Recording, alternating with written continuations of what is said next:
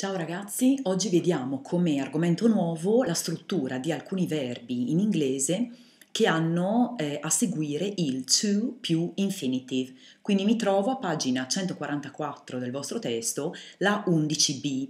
Ci sono praticamente alcuni verbi in inglese che eh, necessitano questo tipo di struttura se io voglio esprimere un verbo a seguire. Quindi ad esempio, a parte con la lista che avete qua sul testo, io ve ne metto qualcuno in più, ecco, da ricordarvi, magari lo, lo segnate sul vostro quaderno. Allora, il primo che volevo dirvi sicuramente è agree. Agree vuol dire appunto andare d'accordo su qualcosa, essere d'accordo su qualcosa. Tipo, io posso dire I agreed to lend him some money, vuol dire io ero d'accordo a prestargli dei soldi. Quindi I agreed to do something, ok? To lend him some money. Primo esempio.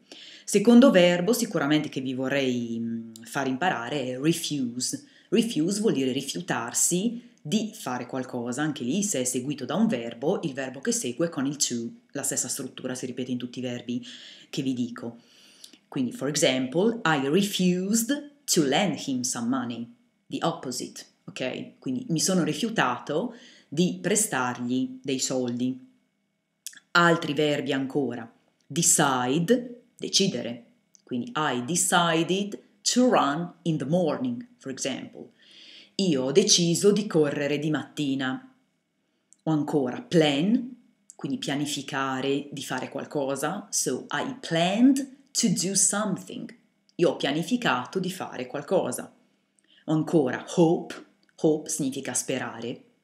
Quindi I hope to pass the exam, for example. Io spero di passare l'esame. Quindi I hope to pass. O ancora learn, ancora imparare. Ad esempio, How old were you when you learned to drive? Quanti anni avevi quando hai imparato a guidare? Quindi, how old were you when you learned qua siamo su past simple, to drive, sia che il eh, verbo in questione sia al presente, sia che sia al passato, non cambia nulla, cioè la struttura è sempre con il to e il verbo a seguire. Altri verbi ancora che vi vorrei fare imparare in questa lezione, deserve, deserve vuol dire meritare di, è scritto deserve, no? Quindi deserve, so I deserved to do something, mi sono meritato di fare qualcosa. O ancora afford, proprio scritto afford praticamente, afford vuol dire permettersi di. Ad esempio posso dire I can't afford to pay the rent, for example. Cioè io non posso permettermi di pagare l'affitto, invento qua una frase, un esempio. So I can't afford to pay the rent. O ancora, forget, forget è dimenticare. For example, I forgot to do my homework yesterday. Mi sono dimenticato di fare i compiti ieri, ok? O ancora, promise, quindi promettere. I promise to tell the truth, for example. Prometto di dire la verità. I promise to più infinito ok? E ancora threaten. Threaten è scritto T-H-R-E-A-T-E-N e significa minacciare. Quindi I threaten to do something. Minaccio di fare qualcosa. E l'ultimo, almeno ancora da, da imparare, sicuramente è fail. Fail, fallire, non riuscire a fare qualcosa.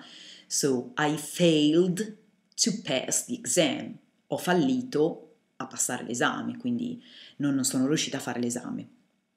Altri verbi che diciamo richiedono di solito questa struttura eh, spesso sono seem, che significa sembrare.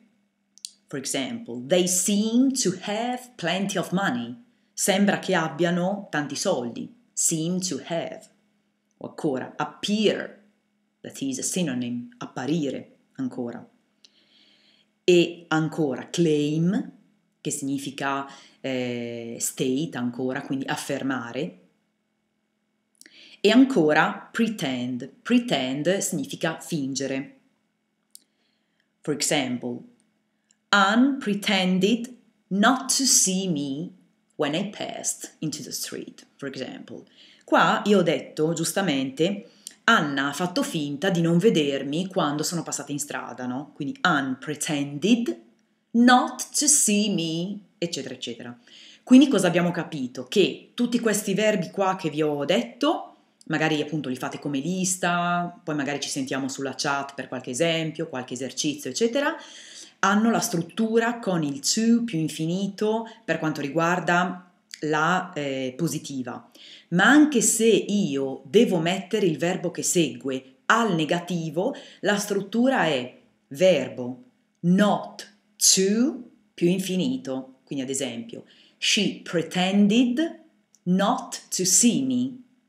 Cioè lei ha fatto finta di non vedermi. Il not lo metto praticamente tra il primo verbo e il to. Quindi questa diciamo è la struttura anche per quanto riguarda la negativa. Quindi io per oggi mi fermo qua. Avete qua gli esercizi vicino da fare a pagina 145, l'11BA e l'11BB, tutti relativi a, questa, a questo nuovo argomento che sono i verbs più il to più l'infinito. Poi per dubbi e quant'altro, eh, ripeto, ci sentiamo sicuramente nella chat di gruppo. So see you soon guys, really miss you. Bye!